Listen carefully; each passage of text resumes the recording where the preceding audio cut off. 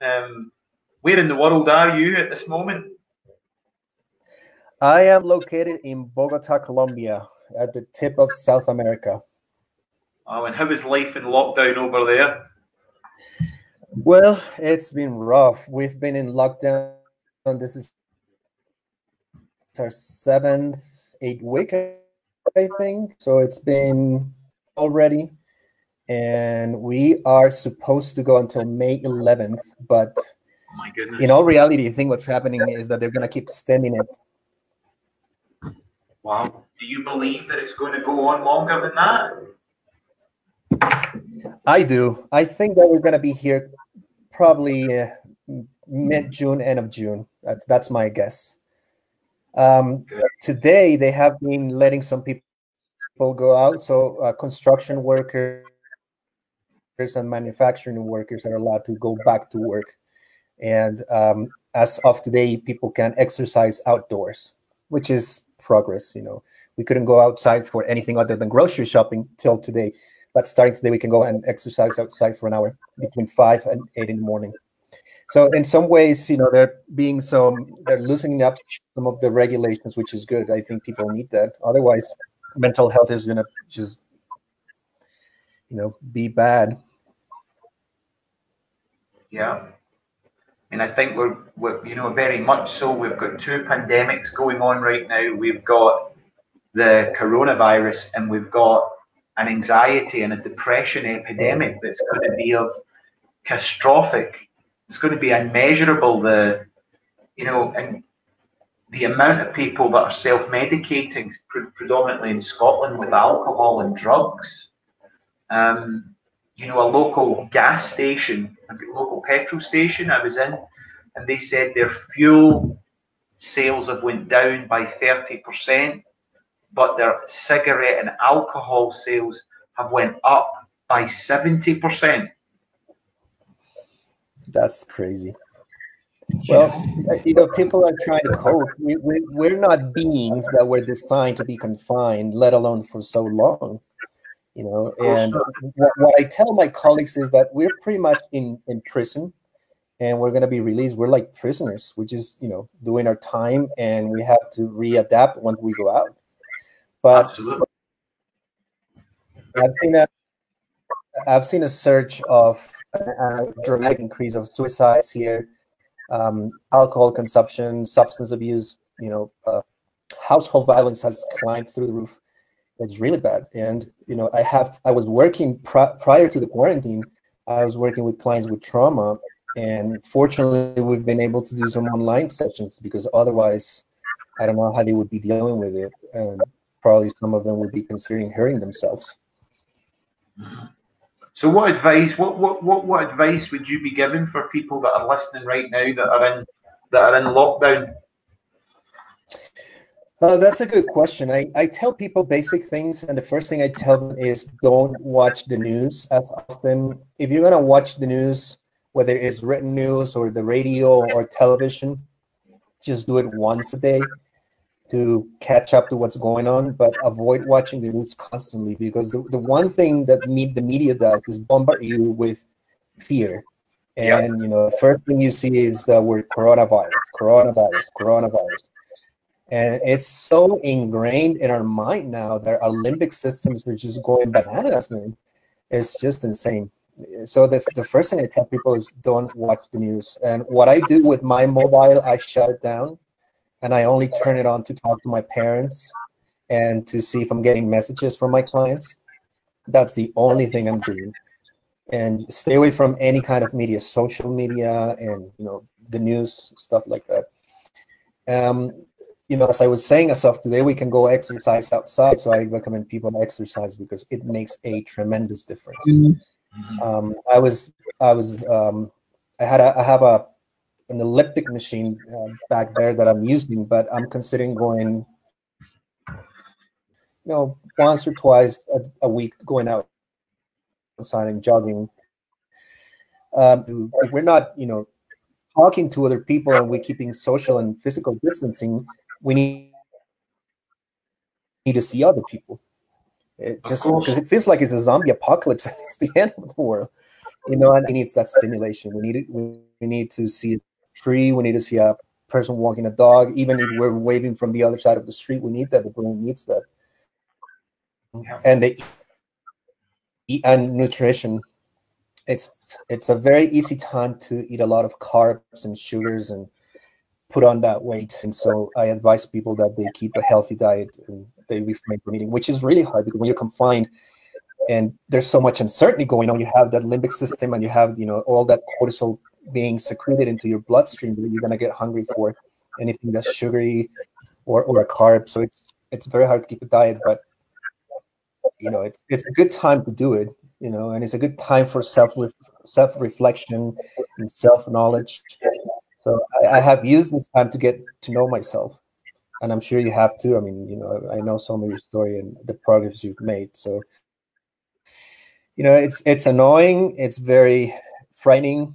Um, it's upsetting, but it's a good time to to to make some good changes too.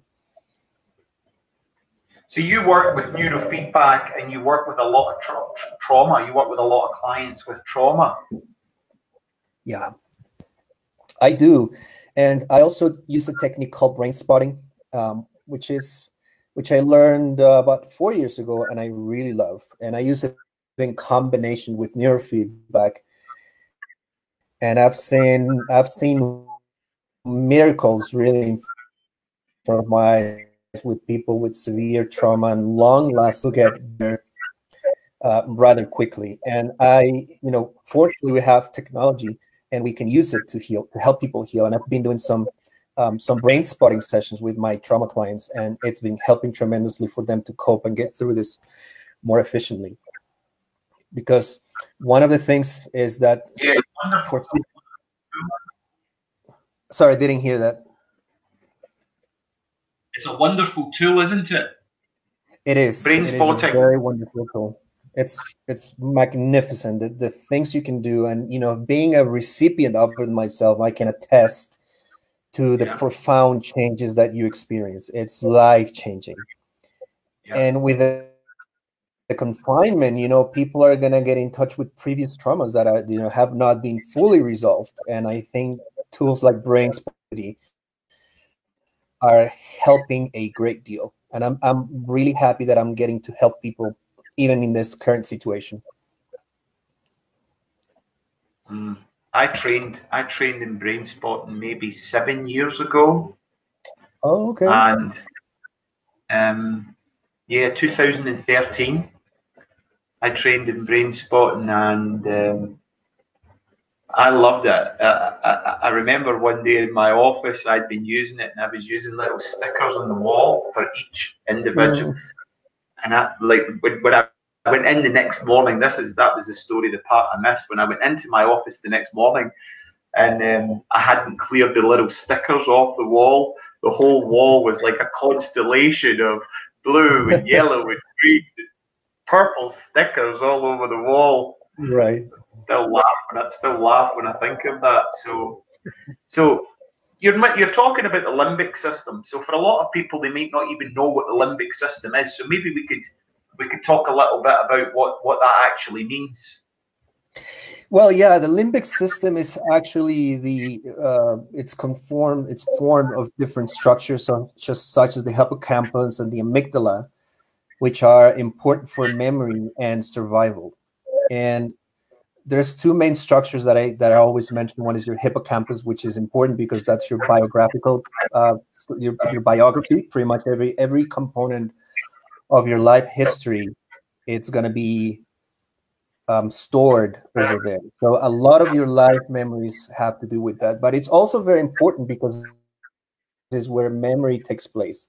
Memory and learning consolidation take place in the hippocampus and it's also where you get your neurogenesis. Is where your brain makes and sprouts new neurons so you can stay smart sharp and young. And you know when you have a cortisol hormone the cortisol is going to go to the hippocampus and it's going to brain not only to make new neurons but also to remember and learn new things. So that's why stress affects stress and trauma affect memory so greatly. And then you have the amygdala, which is, you know, it's about the size of a peanut is a very small but very powerful structure in the brain, which uh, which work whose work is to store everything that's emotional. So your emotional memories, particularly your bad memories, are stored there. And what the limbic system does is activate what you call call the fight or flight response.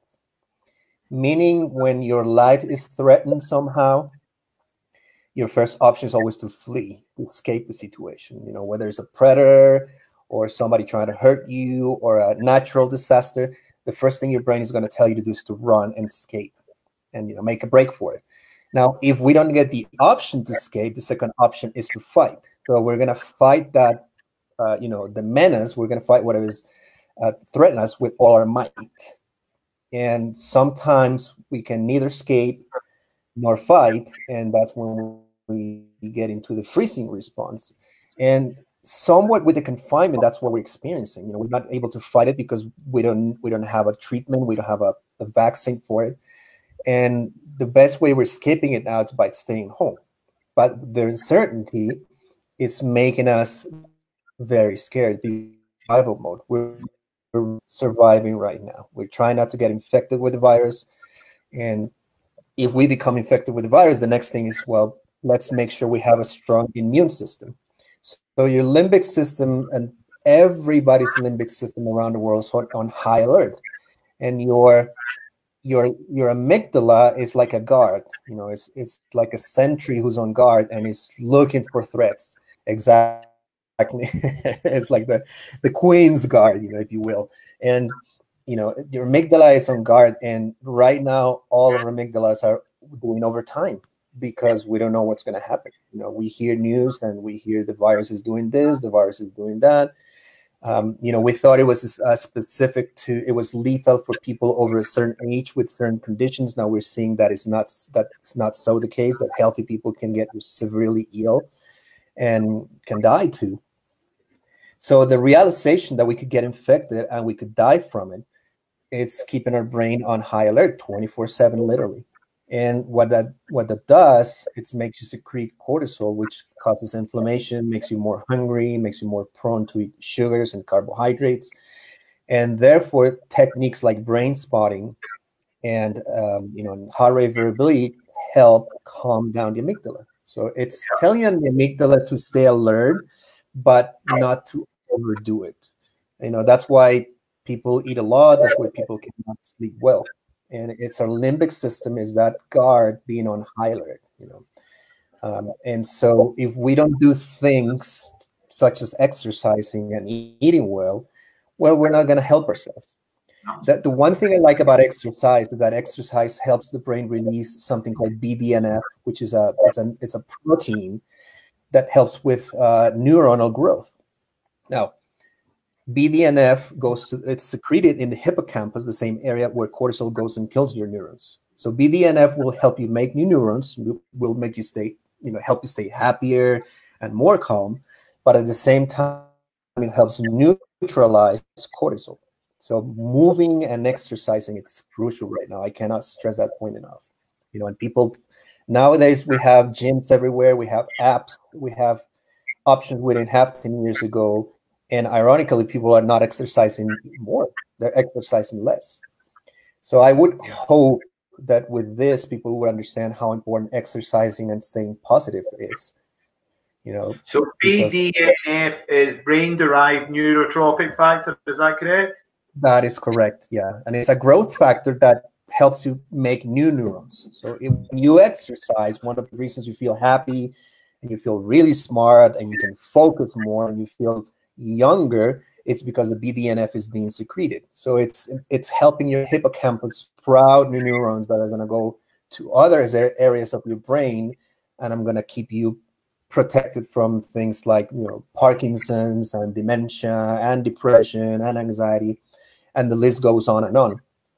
And what triggers it is, mo- is movement. So if you go out for a brisk walk or you do you know mid to high level cardio, you're gonna you're gonna get the BDNF going and what that's to make you is to make you you know less prone to depression less prone to anxiety is going to help you sleep better um, and it's to put you in a more positive state of mind because that's very very important right now So the cortisol that's being released from the fear, which is all around us, the fear of the virus, the fear of employment, the fear of money, the fear for family. And also, I'm guessing that because of the isolation, which is not normal for us to be isolated, that actually hurts the system. You know, we're, we're supposed to be cuddling and hugging one another and loving one another. And now we're isolated. That isolation, I'm guessing, would be bringing about a level of cortisol as well because it's completely not natural not to be around people. Yeah, it is very unnatural. And what you're saying is absolutely true. You know, we're social beings. We were designed or created to be social. And, you know, every time you hug somebody, you kiss somebody, even you shake somebody's hand, you get to release oxytocin and all these chemicals that are good for you. And I think one of the yeah. mistakes that the media and our leaders have made is calling it social distancing. We should have called it physical distancing uh, because social distancing, people are taking it literally. And you know, you walk down the street and people don't wave hi anymore. People don't even hold eye contact anymore. I'm walking down the street and I have people coming my way and they just jump to the other side of this of the street and they don't look at me. And it's because we don't know who's carrying the virus. We don't know how infectious it is. We don't know how we can get it. And therefore, we're suspicious of everybody. You know, even even our, uh, sometimes our own relatives and loved ones.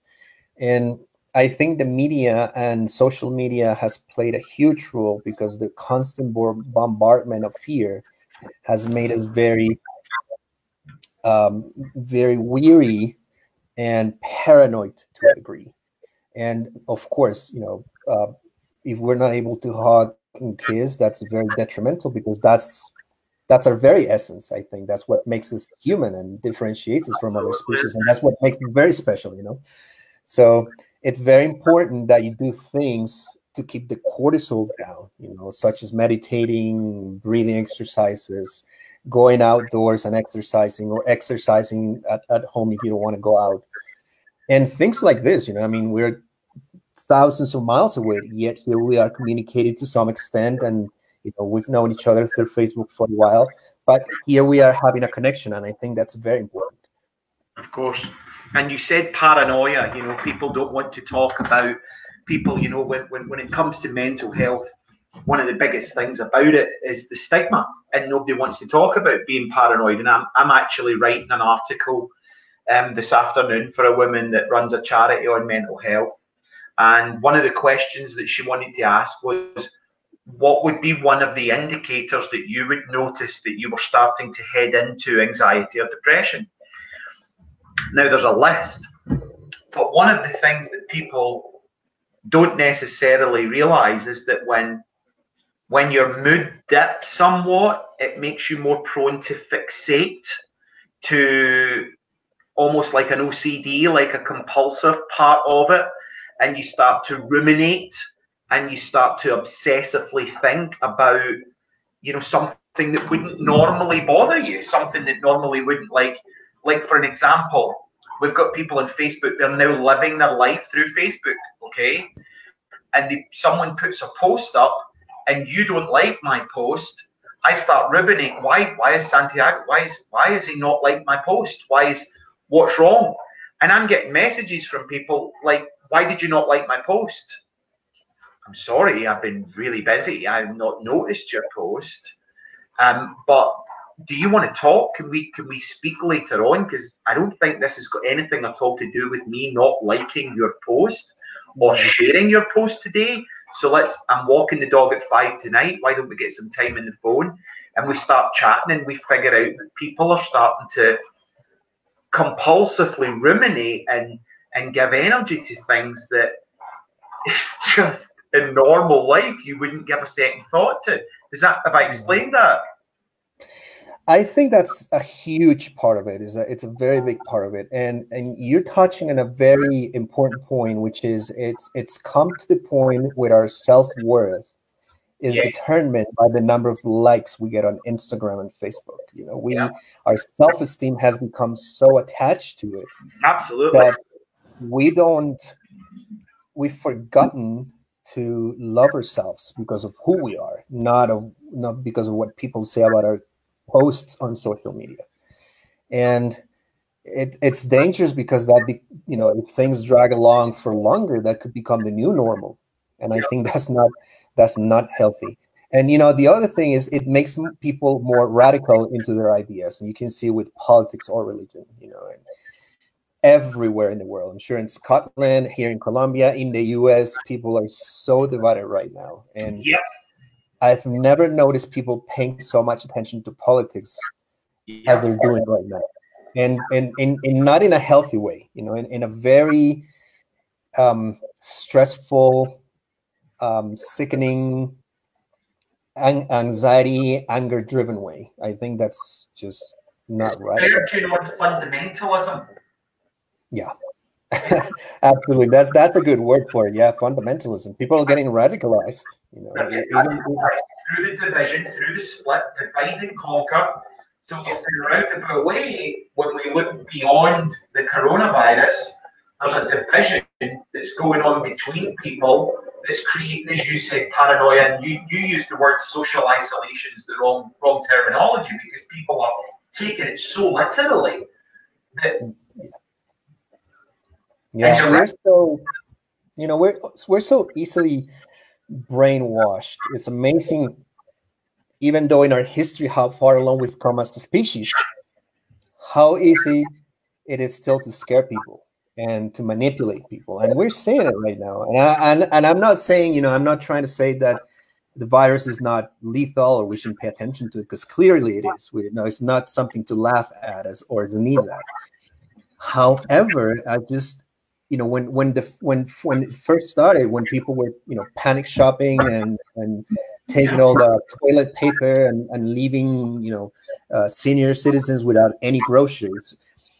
And i'm just thinking this you know this is the 21st century. This should not be happening. We have all the information available and yet some part of our brains is not computing it we're just acting like primitive beings you know this feels like it's the you know it, it we, you know it's the neanderthal telling us it's not the homo sapiens that's acting right now and Absolutely and it's just insane. It, it, it it's unbelievable. And you know, that's that's on the other thing I, I always talk to people about in coaching is we have to teach people to think on their own. We have to educate people in critical thinking. I don't, I don't think our educational systems are doing that at all. I think they're doing a very, very poor job at that. You know, they're, they're, they focus on teaching math and religion and biology, and that's great. But how about what about critical thinking? You know, that's what we really need now. We need people to think for themselves. We need people to get educated on things like this and not believe anything that's thrown. I mean, look what's happening in the US. The president of the United States goes and says, drink bleach, bleach, and people drink bleach. I don't, I cannot fathom for the life of me how can there be people who can really take that literally and do it literally. I just don't understand it. Yeah. And I think if we taught critical thinking, people would go, well, you know, maybe that's not such a good idea, you know, because you could die from it. So let's not even consider what he's saying. I don't know. It's just. That, that, I think that's very, very valid. And I was, you know, I was getting goosebumps as you were talking because that's very aligned with my thinking as well. But, you know, we've got a war there are many wars going on, and we've got a war on consciousness because at some level people don't want us to critically think. People don't want, they want the lemon effect, they want the sheep, they want the masses. But then when a situation like this occurs, that mass like hysteria and mass like thinking shows just how much we need critical thinking and to be able to you know even people that can critically think that i know that run businesses very well they're still looking for the father to approve the critical thought that they've just had. Yeah. Or they're looking for their boss or their CEO or their MD. They're, they're making a critical decision, but still somewhere they're looking for the MD to approve their critical thought. Yeah.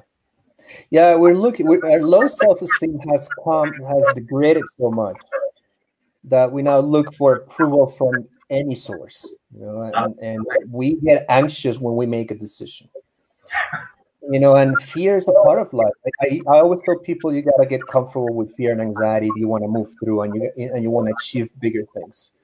there you know anything you try something new there, there's some new level of fear that's going to pop up or some level of anxiety you know if you if you create a new business if you get married if you get separated if you have children if you get a pet if you move to another country there's always going to be fear and anxiety associated with that and it's best that you get comfortable with it because it's not going to go away and Absolutely. that's where critical thinking comes very handy because we're teaching people or we've been conditioned to believe that we don't have a source, a reliable source, or a leader telling us what to do, then it's not worth doing it. And what a clear example of this. Now, I would be hopeful that things will change. Uh, people we will, would become somewhat smarter, and you know they would wise up, or that the economy would change. Now, if you ask me personally, I don't think that's going to be the case because the best predictor of future behavior is past behavior. And with the things you're saying, seeing through the pandemic, it doesn't make me too hopeful. But the only thing I can do is change what I do, the way I think, and do the best I can, and hope that that would inspire others. Um, because, you know, I mean, it, for us who work in mental health and analyze human behavior, it's it's a good it's a good opportunity. You know, it's it, this is an, a huge lab where we can see all kinds of behavior, but I don't know. It's just it's too confusing. Uh, you know, uh, everything that you're saying, I completely, I, I, agree. I align with them. I align with the majority of things that you're saying. But until society can get geared up and educated sufficiently to start dealing with the cause rather than the symptom, we're going to keep just we're just going to keep going round and round and round.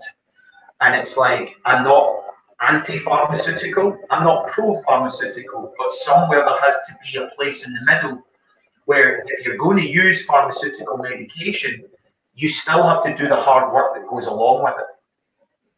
Because otherwise, you'll be on pharmaceutical medication for the next 10 or 15 or 20 years. Yep. Absolutely. And, and it breaks, it absolutely breaks my heart to see people that have chronic health conditions and they're still pouring half a dozen cups of coffee down their neck every day, loaded with sugar, eating cheesecakes and muffins and bread and gluten and all of these things. And the, the, you look at their pill pod and they've got five pills to contradict another five pills. Yeah. And it's like, when are you going to when when are we going to start taking personal accountability for our mental health and stop relying on the over here it's the NHS, the doctors to give us a solution? Okay, well, yeah, you know, you touched on something really important before we went live, and you know, you said, "Is this a preview of what's to come?" And I think that's a that's a very interesting point you're making there, in that I think Mother Nature is sending us the, the signs, and if we don't listen, she's gonna hone her skills and just her craft until she's gonna come up with a much worse pathogen than this one. Absolutely. And we're not gonna be ready for it, and we're just gonna be wiped out. You know, I think Mother Nature is getting sick of our ways. Absolutely. And you know, and if we don't if we don't change soon, I don't see humans being on the planet for much longer. You know, whether it's another virus Absolutely. or natural disasters or a combination of both. Absolutely, absolutely. I um, I was out walking the other day there, Santiago. I was walking and I went. You know, Mother Nature has put up with man killing man for so long, and really, I don't think Mother Nature gives a poo about that. But when man starts killing plants it's going to whip back, and we're there. It's going to whip back. You know, go ahead and kill one another, whatever. But you're not going to bury another hole in me. You're not going to destroy another 300 acres of my Amazon, of my lungs, of my earth. And you know, it's it's it's time to look in the mirror. Yeah. Yeah. The question is, are we going to learn from this, and are we going to be prepared to make a change? Now, I'm, I'm not going to say that that's not the case. I'm, I'm I think a lot of people are going to change, and for the better. Um, however, I don't I don't know if the majority of people are prepared and they're willing or even able to make that change. You know, it's a change is really hard, and learning from this is going to take a lot of thinking. I don't know how prepared people are to do that much thinking. I want to be hopeful, but I want to be hopeful you know, too. Yeah. Oh man, I've so enjoyed talking with you. I really have. I'm sure. I'm sure people that are, I'm sure people that are listening have learned a lot. And you know, just I'm going to ask you one last thing before you go because I've taken up your time. We've spoke of the problems, and we're both hopeful. What do you see as the solution?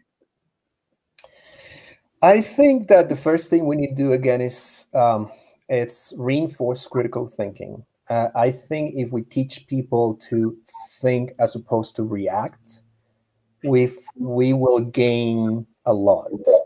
Uh, I think that's the most important thing, and I think people should be, you know, I've seen touches of of humanity and and and kindness around me with, that I didn't see before, and I hope that grows. I, I hope people become more kind, and I I think we become more empathetic, and we learn to think on our own we we will come a long way. I'm not necessarily saying it's going to be a, a you know a 360 degree transformation, but I think is the first step. You know, a good first step in the right direction.